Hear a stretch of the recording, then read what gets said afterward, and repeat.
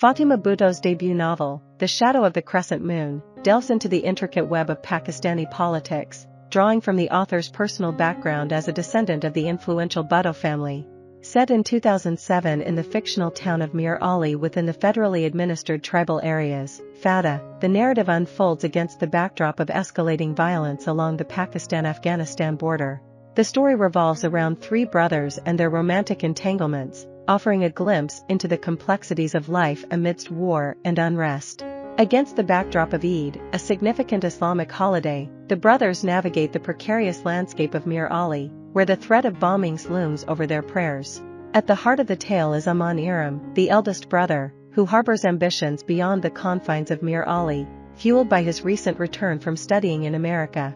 His father, Inayat Masud, once championed the cause of regional independence, advocating for Mir Ali's secession from Pakistan to join Afghanistan. Aman Erum's involvement in this struggle intertwines with his relationship with Samara, a passionate advocate for independence. As the narrative unfolds, Bhutto skillfully explores the multifaceted dimensions of political strife, terrorism, and sectarian tensions that grip the region. Through shifting perspectives and intimate portrayals, The Shadow of the Crescent Moon offers a poignant reflection on the human cost of conflict in the borderlands of Pakistan. As Aman Erum grew up, he realized that he and his dreams would never fit into the provincial life he saw around him. Meanwhile, Samara, already a taboo-breaking teenaged girl whose father taught her to ride a motorbike and shoot a gun, felt an increasing sense of urgency to free Mir Ali.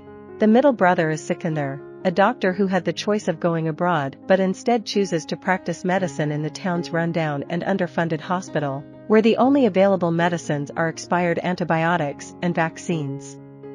He is married to the depressed Mina, she was a psychologist in the same hospital as her husband but now spends her days attending the funerals of children she doesn't know. Sikandar and Mina had a young son, Zalan, who was killed by a terrorist attack on the hospital. Unable to come to terms with what happened, Mina uses the funerals as a way of finding her own son while she prays, recites poem, and bathes the dead. The youngest brother is idealistic and headstrong Hayat, who has picked up his father's cause of fighting for independence. Hayat has now become involved with Samara, and together they are part of the Mir Ali insurgent movement. However, Hayat's connection to the freedom fighters, or terrorists, is not as strong as Samara's. Samara is an up-and-coming leader, and she is fueled not by simple idealism but by rage and the need for vengeance. When she was younger, she was raped by soldiers from the Pakistani army.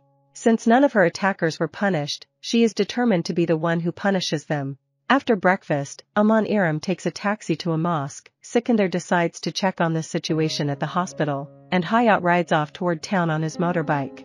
However, none of them are really doing what they said they would. Aman Erum is increasingly desperate to find a way to leave Mir Ali for good, and Sikandar goes off to find Mina. Meanwhile, Hayat isn't traveling alone. On their journey, he is joined by Samara, and together they set out to assassinate the chief minister. Despite attempting to travel discreetly, Aman Erum observes Samara boarding Hayat's motorcycle and deduces their plan for an attack. The narrative concludes with significant ambiguity surrounding the outcome. The assassination occurs, yet it remains uncertain whether the minister is truly slain or if Hayat and Samara are responsible. There are hints that Hayat may betray Samara at the last moment.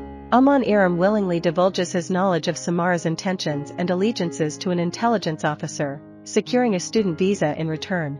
Consequently, Samara is apprehended and likely subjected to indefinite military detention and torture. Mina emerges as the sole character whose storyline concludes with a glimmer of hope rather than succumbing to violence or moral decay. Amidst the chaos, during one of the funerals, Mina finds her voice and confronts Taliban members regarding the hospital attack and her son's death.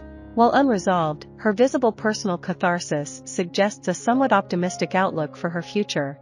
The novel has garnered praise for Bhutto's vivid descriptions and meticulous attention to detail, but has faced widespread criticism for its heavily biased portrayal of the Pakistani army.